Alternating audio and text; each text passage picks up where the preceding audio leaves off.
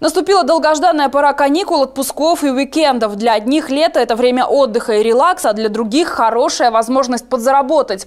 Какие виды заработка существуют и какие бизнес-идеи можно реализовать в самое теплое время года – поговорим об этом в нашей рубрике «Экономический ликбез». Да, я думаю, что желание заработать дополнительные деньги может вполне конкурировать с желанием хорошо отдохнуть. Раньше, вот, например, когда я учился в университете, то каждое лето искал возможность подзаработать. И, по правде говоря, не всегда получалось. Однако сегодня есть достаточное количество способов хорошо заработать. У нас есть несколько минут, и мы попробуем за это время рассказать о самых простых и самых действенных способах заработка в нашем регионе. Итак, поехали. Велосипедные прогулки. Что необходимо? Парк как минимум из нескольких велосипедов. Можно разработать интересные маршруты движения, чтобы дорога прежде всего была удобной и безопасной. На протяжении всего велопутешествия должно быть как можно больше интересных и красивых мест, которых в Забайкальском крае в достатке. Или вот интересная идея – заработок при помощи металлоискателя. Правда, понадобится первоначальные вложения на приобретение того же металлоискателя. На пляжах, к примеру, озера Кинон или Арахлея, в летний период люди иногда теряют свои золотые украшения в песке, воде или траве. Большинство украшений сделаны из драгоценных металлов. При помощи металлоискателя э, потерянные золотые украшения можно будет находить, и на поиски уходит не так-то много и времени. Для поиска необходимо прийти на пляж рано утром, пройтись по берегу, проверить зону мелководья и обязательно поискать в тех местах, где еще вечером располагалась шумная компания отдыхающих. Вероятность вернуться домой с золотым уловом очень велика. Но еще одним вариантом заработка может стать уход за животными или комнатными растениями. Можно заняться выгулом собак за определенное денежное вознаграждение. Особенно это актуально летом в период отпусков, так как пристроить своего домашнего любимца часто бывает весьма проблематично. А тут вдруг появляетесь вы и предлагаете свои услуги.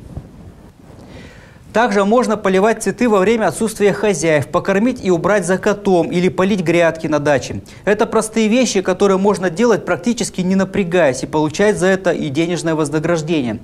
Но во второй половине лета, когда начинается ягодно-грибной период, можно организовать сбор и последующую продажу лесного урожая. Тем более, что ягоды и грибы всегда пользуются неплохим спросом. К примеру, ведро груздей в прошлом летом стоило на читинских рынках от одной тысячи и даже больше. Мы забыли про еще один летний бизнес. Неплохие деньги можно заработать на производстве веников для бани. Ну, вначале нужно найти заказчика, который захочет приобрести у вас сделанную продукцию. И может стать городская баня или простой физическое лицо, у которого есть своя баня, но нет времени заготавливать веники. В результате на протяжении лета такой способ может стать хорошим источником дополнительного дохода. Так ли это на самом деле, мы решили узнать у тех, кто уже проводит лето с пользой. Как торговля идет? Так вот, погода не дает торговать. Вот град был, все угробил. Вот. Но вообще читинцы активно покупают? Конечно. Чем торгуете? А вот дочь цветочками торгую на таблетки, на лекарства. Вот ну, за день нормально получается? Ну, на хлеб и на воду хватает. Вы каждый год здесь? Нет, этот год первый здесь. Ну, в общем-то, за уля. Ну, сколько выручка в день? Три плохо, восемь хорошо. Восемь тысяч? Да. Вообще нормально. А сколько вложений делали? Ну, на семена, все такое? Ну, порядка где-то 50 тысяч. Думаете, отобьете, да, за лето? Да, конечно курицы у чтинцев в этом году не очень популярны.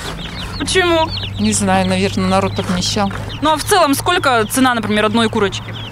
400, 450. Цыплята дешевле? Ну, конечно, цыплята дешевле. Ну и цыплят не берут. Вот редкие покупатели. Редкие покупатели.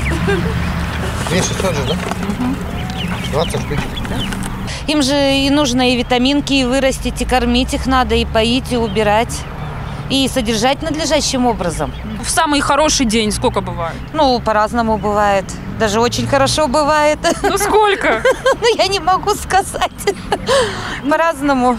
Пять, около пяти, там и поменьше бывает, по-разному бывает. Вы здесь кому-то платите за то, что здесь занимаете место или нет? Ну почему? У нас мы все стоим по договорам, у нас аренда на эту землю. Забайкальцы, приезжайте за утятами, цыплятами, курочками, гусятами Перечисленному списку можно добавить репетиторство, экскурсии, сдачу квартиры, торговлю квасом и прохладительными напитками, детские аттракционы с сахарной ватой и мороженым, фотографию свадьб и еще много-много другое.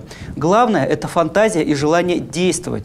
Но и не забывайте, конечно же, летом отдохнуть и позагорать, получить свою порцию витамина D. Тем более, что забайкальское лето очень короткое.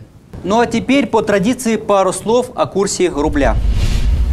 Валютная пара доллар-рубль за прошлую неделю не показала ярко выраженной динамики. Ценовые значения находятся в пределах 56,90-56 рублей ровно за доллар. Трейдеры и инвесторы в ожидании решения ФРС США относительно процентной ставки, которая будет объявлена 14 июня. В случае ее повышения, при этом вероятность очень высокая, спрос на доллары может повыситься, что приведет к некоторому ослаблению российского рубля. А пока на сегодня официальный курс валют от ЦБ – доллар 56,67, евро 63,78. Ну а лучший курс доллара в читинских банках сегодня – покупка 56,50, продажа 56,90. Ну на этом все. Увидимся на следующей неделе. До встречи. Спасибо, Максим. Это была наша рубрика «Экономический ликбез». Мы говорили сегодня о бизнес-идеях наступившего лета.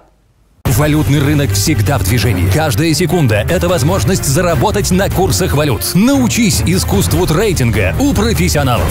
Альпари.